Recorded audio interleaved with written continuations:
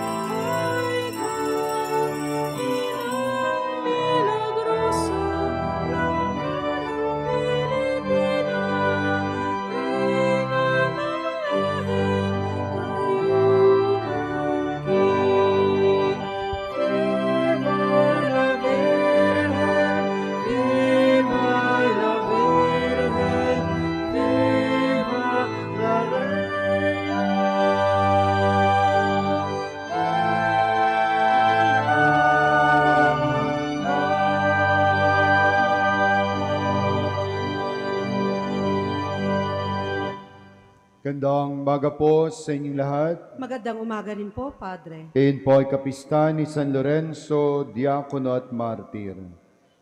Tayo manalangin sa ngalan ng Ama, ng Anak, ng Espiritu Santo. Amen. Sumainyong Panginoon. At sumaiyo rin. Mga kapatid, tinipon tayo bilang mga kaanim ng kanang Diyos. Kaya dumulog tayo sa mawing Panginoon na nagpapatawad ng lubos. Sinugong tagapagpagaling sa mga nagsisisi, Panginoon, kaawaan mo kami. Panginoon, kaawaan mo kami. Dumating na tagapaganyayang mga makasalan ay magsisi, Kristo, kaawaan mo kami. Kristo, kaawaan mo kami. Nakaluklok ka sa kanan ng Diyos Ama para pamagitan kami. Panginoon, kaawaan mo kami. Panginoon, kaawaan mo kami. Kawan tayo na makapangyarihang Diyos, patawarin tayo sa ating mga kasalanan at patnubayan tayo sa buhay na walang hanggan. Amen. Awitan natin ang papuri ang Panginoon.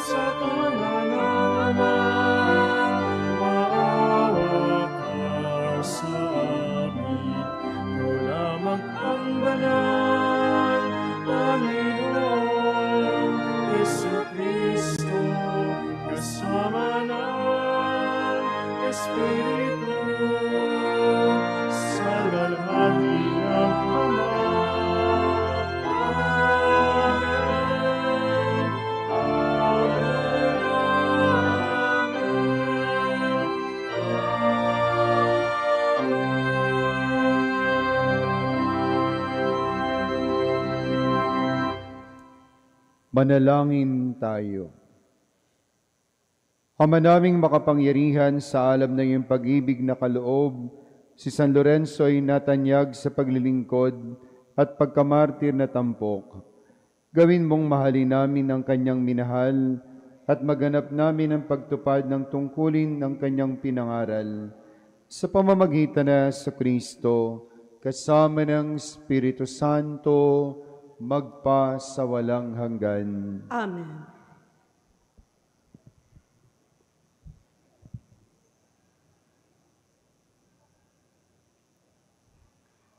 Pagbasa mula sa ikalawang sulat ni Apostol San Pablo sa mga taga-Korinto. Mga kapatid, ang naghahasik ng kakaunti ay mag-aani ng kakaunti. At ang naghahasik naman ng marami ay mag-aani ng marami. Ang bawat isa'y dapat magbigay ayon sa sariling pasya maluwag sa loob at di napipilitan lamang. Sapagkat ang ibig ng Diyos ay kusang pagkakaloob. Magagawa ng Diyos na pasaganain kayo sa lahat ng bagay, higit pa sa inyong pangangailangan, upang may magamit kayo sa pagkakawang gawa. Gaya nga ng sinasabi ng kasulatan. Siya'y namudmod sa mga dukha, walang hanggan ang kanyang kabutihan. Ang Diyos na nagbigay ng binhing iahasik at tinapay na makakain. Ang siya ring magbibigay sa inyo ng binhi at magpapalago nito upang mamunga ng sagana ang inyong kabutihang loob. Ang salita ng Diyos. Salamat sa Diyos. Ang taong tunay matuwid ay mahabagit mabait. Ang taong tunay na matwid ay mahabagit mabait. Mapalad ang tao na may takot sa Diyos. Siyang sumusunod ng buong alindog. Ang kanyang lipi magiging dakila, pati mga angkan ay pinagpapala. Ang taong tunay na matwid ay mahabagit mabait. Ang mapagpautang ay nagiging mapalad, kung sa hanap buhay siya'y laging tapat. Hindi mabibigo ang taong matuwid, di malilimutan kahit isang saglit. Ang taong tunay na matwid ay mahabagit mabait. Ano mang balitay, hindi siya takot. Matatag ang puso't may tiwala sa Diyos. Wala siyang takot, hindi nangangamba.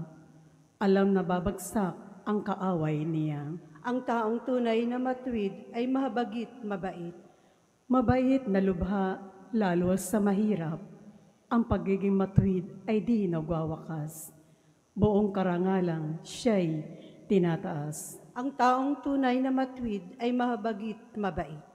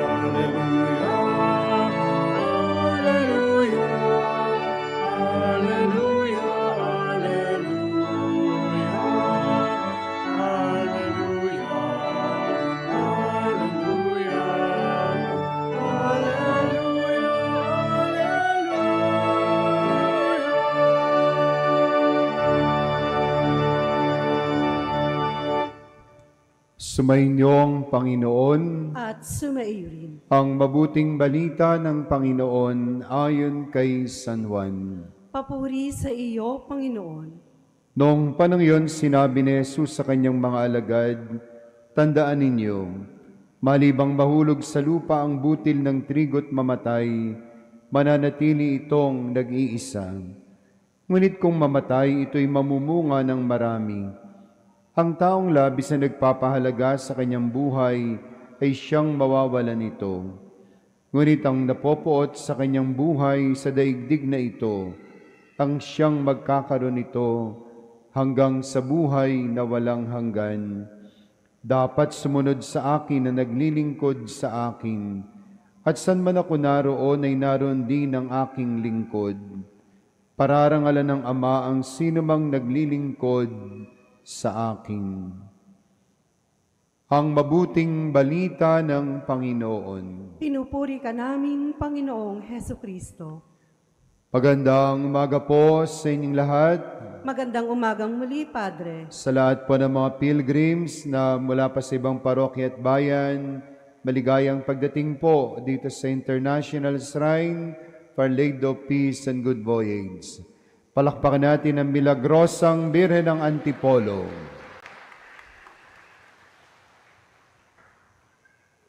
Uso pa ba ang martir? Uso pa ba yung mga taong handang mamatay para mabuhay ang iba? Oo, mga kapatid, uso pa rin ang martir.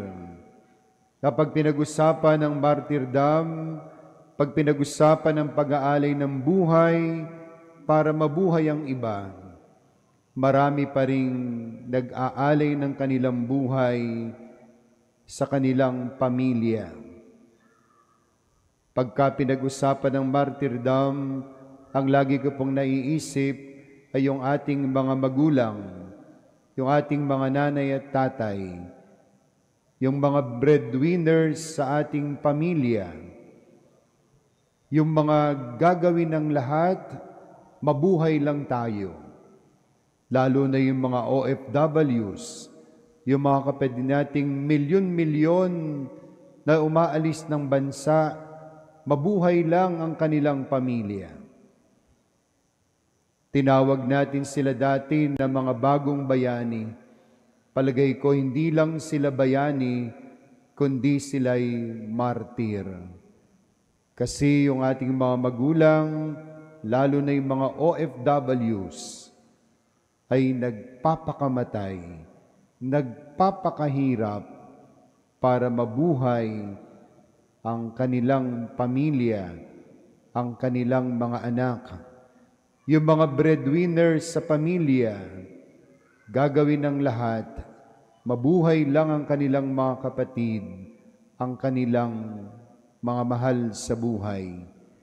Sa kabila ng iyong iba, nabubuhay sa pagiging makasarili. Sa kabila ng iyong iba, nabubuhay sa katamaran. At yung iba, nabubuhay sa pagnanakaw. Nagpapasasa sa pera ng iba, sa pera ng bayan, pero maraming mga kapatid na milyon-milyong Pilipino na OFWs na nagpapakamatay para sa ating bayan. Sila ang mga martir sa ating panahon na dapat nating pinasasalamatan, na dapat nating minamahal at iniingatan natin yung mga pinagpaguran ng ating mga magulang. Ngayon mga kapatid ay kapistahan ni San Lorenzo, diakono at martir. At sa Ebanghelyo narinig natin, sabi ng ating Panginoong Sokristo, maliban na ang butil ng trigo ay mahulog sa lupa, mabulok, mamatay, hindi ito mamumunga ng sagana. Di ba ganun na nangyayari sa buto ng palay o sa binhi ng palay, sa buto ng anumang prutas? Ibabaon mo yung buto, mabubulok siya, mamamatay siya, at saka siya tutubo at magkakaroon ng bagong palay, magkakaroon ng bagong puno at mamumunga ng sagana. Kaya nga sa pagkamatay natin mga kapatid, mayroong nabubuhay. Sa pagkamatay natin, maraming nabubuhay, kaya yung pagkamatay, yung martyrdom ay pagpapahayag ng pagmamahal. Yung pag-aalay ng sarili sa Diyos at sa kapwa ay pag-aalay ng pag-ibig. Pagmamahal, mga kapatid, ang dahilan ng ating mga magulang, kaya ginagawa nila ang lahat, kahit mahirapan, kahit masaktan, kahit mapagod at mamatay, mabuhay lang tayo. Lahat ay gagawin para sa atin. Hindi ba gayan din ang ginawa ng ating Panginoong Kristo? Inalay niya ang kanyang buhay sa krus para sa ating kaligtasan. Ganyan ang ginawa ng mga santo, ng mga martir, kaysa na nga dito si San Lorenzo Ruiz, si San Lorenzo Diakono at martir, at ang mga iba pang mga martir ng ating simbahan, sila'y namatay upang ang ating simbahan ay mabuhay. Kinalimutan nila ang kanilang sarili. Kinalimutan nila ang lahat-lahat sa kanila upang mabuhay ang iba. Kaya nga yung mga taong makasarili, yung mga taong sakim, yung mga taong lagi na lang sarili nila ang kanilang naiisip, ay hindi yon marunong magmahal. Hindi marunong magmahal, mga kapatid, yung taong makasarili. Kasi ang mahal niya lang ay yung sarili niya. Ang tunay na nagmamahal ay yung taong handang mamatay, handang maging martir para sa Diyos at para sa kanyang minamahal. Ipagdasal po natin ang ating mga magulang, lalong-lalo na yung mga OFWs. Ipagdasal po natin yung mga breadwinners sa ating bansa, sa ating pamilya. Sana patuloy silang pagpalain ng Diyos. Sana patuloy silang ingatan ng Diyos sa kanilang pag-aalay ng sarili para sa kanilang pamilya at para sa ating bansa. At ipagdasal po natin ang bawat isa. Sana katulad ni San Lorenzo, matuto tayong mamatay sa sarili para ang iba ay mabuhay.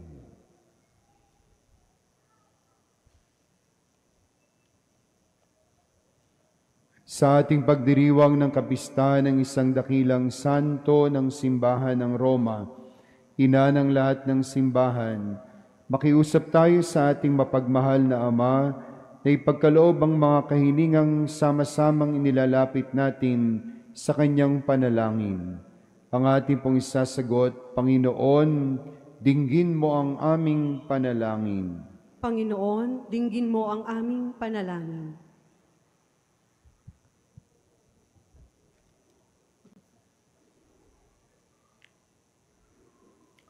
Ang mga diakono ng simbahan naway maging masigasig sa pangangaral ng Ebanghelyo sa salita at halimbawa. Manalangin tayo sa Panginoon. Panginoon, dinggin mo ang aming panalangin. Magkaroon nawa ng sapat na katolikong voluntaryong maglilingkod para sa mga mahihirap na pamayanan at bansa. Manalangin tayo sa Panginoon. Panginoon, dinggin mo ang aming panalangin. ang ating mga dukha, naway palagahan at pangalagaan natin bilang mga tunay na yaman ng simbahan. Manalangin tayo sa Panginoon. Panginoon, dinggin mo ang aming panalangin.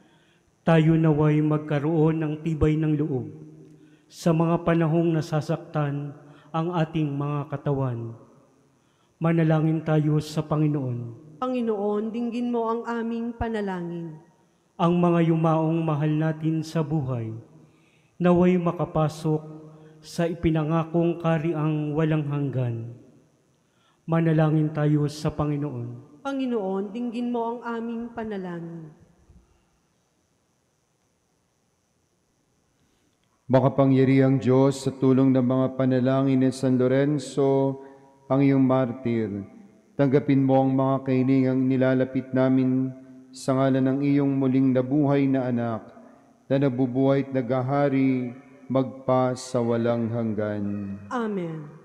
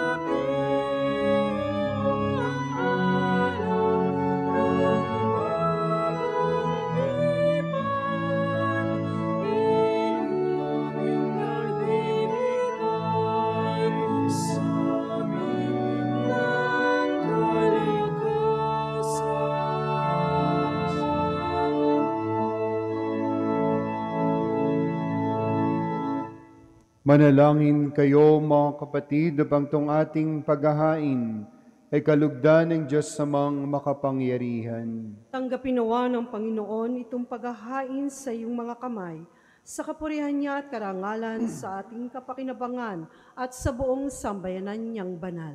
Ama naming lumikha ang kap- sa kabistan ngayon ni San Lorenzo, tanggapin mo ang aming mga alay at ipagkaloob mong pakinabangan namin ang tulong mo para kami maligtas. Sa pamamagitan na sa Kristo, kasama ng Espiritu Santo, magpa sa walang hanggan. Amen. Sumainyo ang Panginoon, At sumaiyo rin. itaas sa Diyos sa inyong puso at diwa. Itinaas na namin sa Panginoon. Pasalamatan natin ang Panginoong ating Diyos. Marapat na siya ay pasalamatan. Ama naming makapangyarihan, tuning ang marapat ni kay aming pasalamatan. Ngayong aming kagalakang si San Lorenzo'y parangalan. Siya'y kapanalig naming may paninindigan na ikaw ay pahayag kahit siya'y mamatay. Sapagkat minarapat mong kanyang matularan ang iyong anak na naghain ng sariling buhay. Tulad ng naganap sa iyong anak, ang dugo ng mga martir ay dumanak hindi dahil sa katatagang likas, kundi dahil sa iyong bigay na lakas. Kaya kaisa ng mga anghel na nagsisiawit ng papuri sa iyo, nang walang humpay sa kalangitan, kami nagbubunyi sa iyong kadakilaan. Santo, Santo, Santo, Panginoon Diyos ng mga hukbo, napupuno ang langit at lupa ng kadakilaan mo, o sana sa kaitaasan. Pinagpala ang naparirito sa ngalan ng Panginoon, o sana sa kaitaasan. Ama naming banal, ikaw ang bukal ng tanang kabanalan, kaya't sa pamamagitan ng iyong Espiritu, gawin mong banal ang mga kaloob na ito, upang para sa aming maging katawan at dugo ng aming Panginoong Heso Kristo. Bago niya pinagtiis ang kusang loob na maging handog, hinawakan niya ang tinapay, pinasalamatan kanya, pinaghati-hati niya iyon. Iniabot sa kanyang mga lagad at sinabi, Tanggapin niyong lahat ito at kanin, ito ang aking katawan na iyahandog para sa inyo.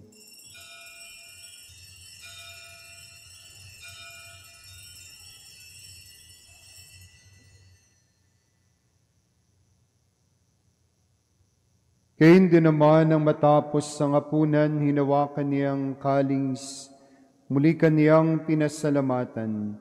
Hinabot niyang kalis sa kanyang mga alagad at sinabi, Tanggapin niyong lahat ito at inumin, ito ang kalis ng aking dugo, ng bago at walang hanggang tipan.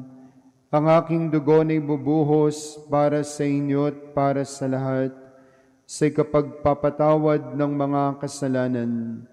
Gawin niyo ito sa pag-alaala sa akin.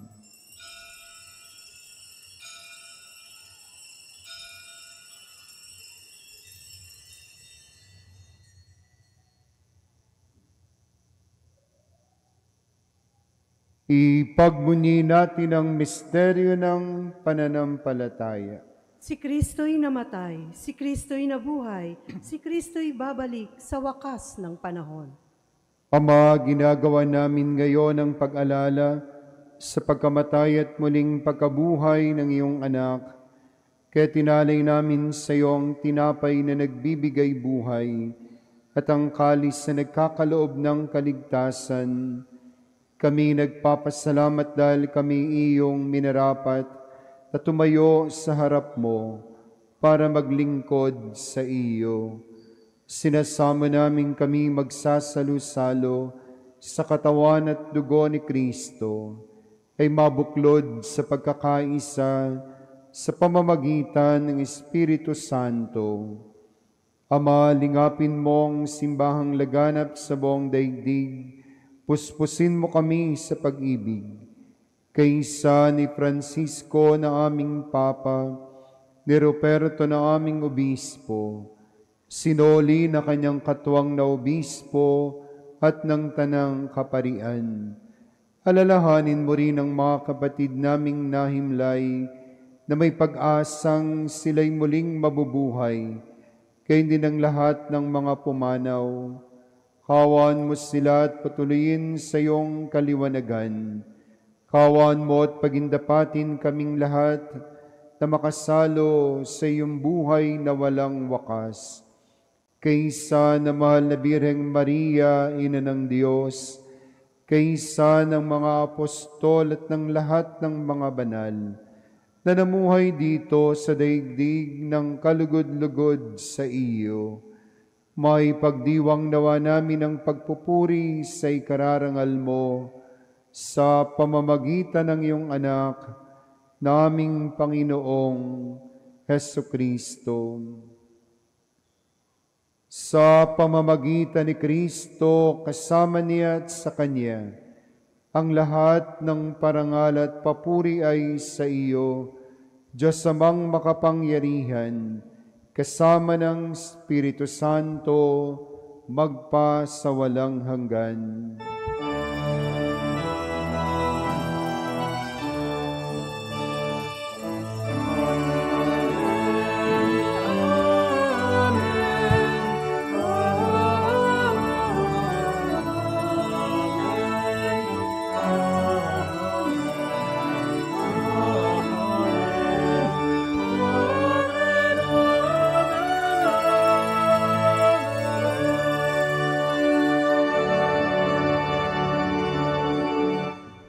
Bilang sa pamilya, awitin po natin ang Ama namin.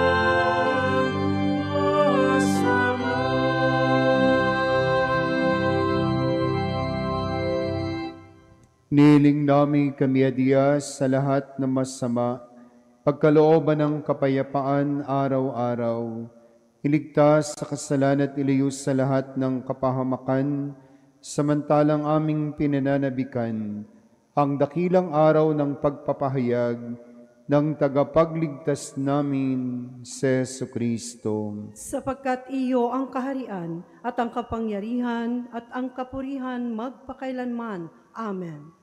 Panginoong Kristo, sinabi mo sa mga apostol, kapayapaan ang iniiwan ko sa inyo.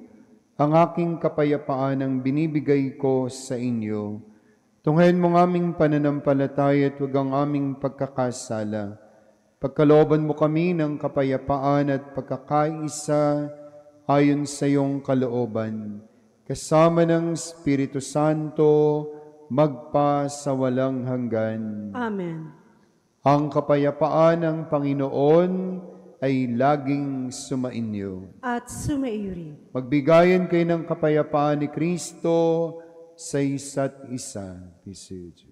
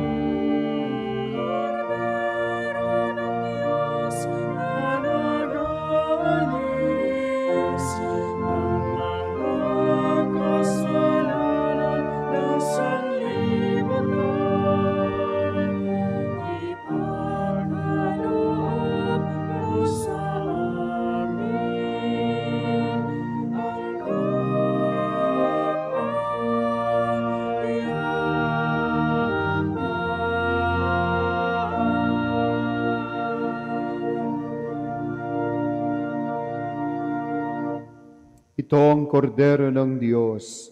Ito nag-aalis ng mga kasalanan ng sanlibutan. Mapalad ang inaniyahan sa kaniyang piging. Panginoon, hindi Di ako ako karapat-dapat na magpatuloy sa iyo. Ngunit sa isang salita mo lamang ay gagaling na ako.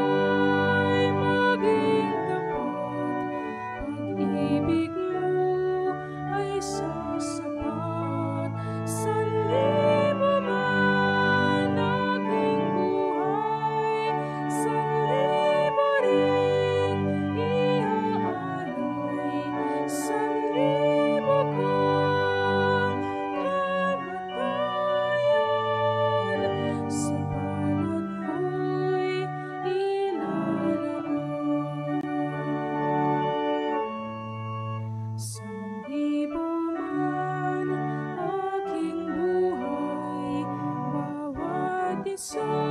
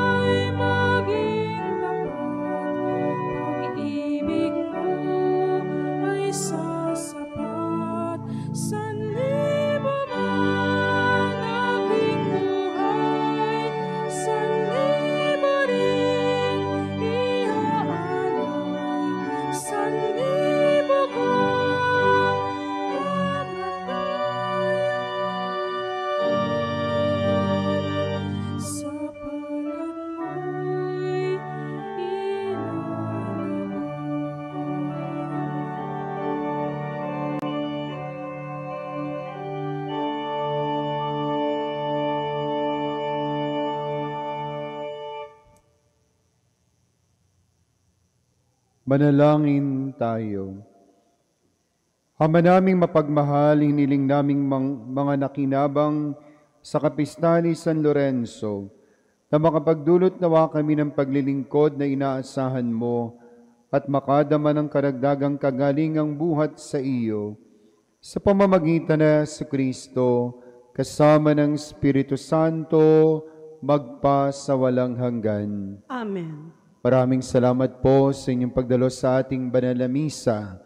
Tandaan natin mga kapatid, ang tunay na martir ay handang mag-alay ng kanyang buhay para sa Diyos at para sa kanyang minamahal. Palakpakan po natin ang bawat isa na kasama natin sa misang ito. At huwag po natin kakalimutan, pasalamatan yung ating mga martir sa ating mga tahanan, yung ating mga magulang, lalong-lalo na yung mga OFWs na nagsasakripisyo para mabuhay lang tayo. Pasalamatan natin sila at ingatan natin ang kanilang pinaghirapan. Sumainyong Panginoon, At sumayo rin. Yumuko kayo para sa pagbabasbas. Ang mawing Diyos nawa na pumili sa mahal na Birheng Maria, ang ina ng kapayapaan at mabuting paglalakbay, ang mapaghimalang bire ng Antipolo, ang magawad sa inyo ng kanyang bendisyon at kapayapaan sa inyong kaluluwa, kalooban at katawan. Ilayo kayo sa lahat ng panganib at kapahamakan, saan man kayo maglalakbay, maglalayag at magtutungo. Palakasin niyang pag-asa ng lahat ng mga may sakit at karamdaman. Palakasin din niya ang pananampalataya ng mga nagdiriwang ng kanilang kaarawan at anibersaryo ng pag-iisang dibdib ngayon. Pagalabi nawa kayo sa pag-ibig at paglilingkod sa kanyang pinakamamahal na simbahan. Igaw dinawa niyang bendisyon sa lahat ng mga imahen, larawan, rosaryo at mga dasalan at lahat ng kasangkapang nakababanal upang makatulong sa inyong kasalukuyang pamumuhay sa paggawa ng kabutihan sa kapwa at magatid sa inyo sa buhay na walang hanggan. Amen. At pagpalain nawa kayo at inyong buong pamilya ng makapangyarihang Ama, Anak at Espiritu Santo. Amen. Mahal kayong lahat ng Diyos. Sumayo kayong mapayapa at maligaya. Salamat